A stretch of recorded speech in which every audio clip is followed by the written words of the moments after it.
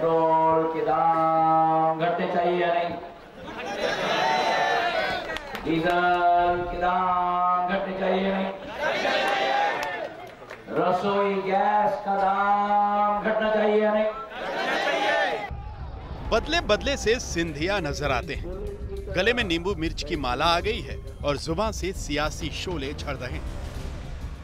मैं जो भी माला पहनाया जाता है फूल के अलावा मैं सारे माला पहन रहा हूँ। नींबू मिर्ची की माला तो मैं पहन रहा हूँ। तो सबसे ज़्यादा मिर्ची तो शिवराज सिंह जी को लग रही है।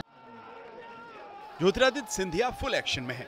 डायलॉग ड्रामे से भरपूर चुनावी प्रचार से सियासी समा बांधने में लगे लेकिन बुलेट की तरह पेट्रोल और डीजल का दाम। ये देखिए कैसे हाथ चमका चमका कर पेट्रोल डीजल की कीमत में लगी आग पर चुनावी शोले दाग रहे मोदी जी ने कहा था हम मुंबई से अहमदाबाद का बुलेट ट्रेन देंगे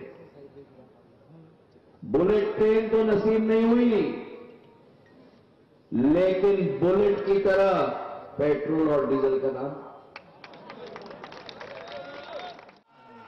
सिंधिया निशाना तो शिवराज सरकार पर लगा रहे हैं लेकिन सच पूछिए तो इनका असली टारगेट पीएम मोदी है।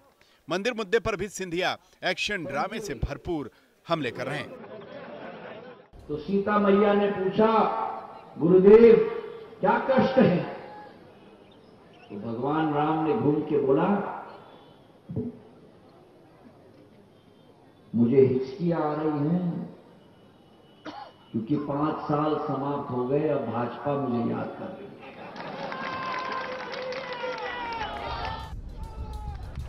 यूँ तो ज्योतिरादित्य सिंधिया संजीदे किस्म के नेता कहे जाते हैं लेकिन इस बार उन्होंने अपना स्टाइल बदल लिया है। शायद ये चुनावी मुकाबले की मजबूरी है या नरेंद्र मोदी को अपने अंदाज से जवाब देने की कोशिश।